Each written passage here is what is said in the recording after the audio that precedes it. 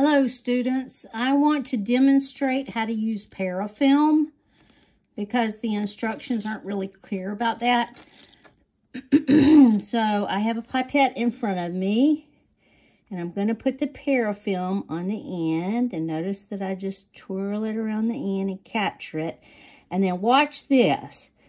Pull it and stretch it and turn it around and stretch it and turn it around and stretch it and turn it around and stretch and stretch and stretch all the way to the end because when you stretch it, it clings to itself. This is like miracle material that all molecular biology labs use, and it's called parafilm.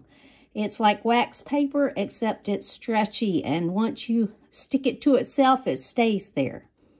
So I just wanted to show you how to use that. Bye.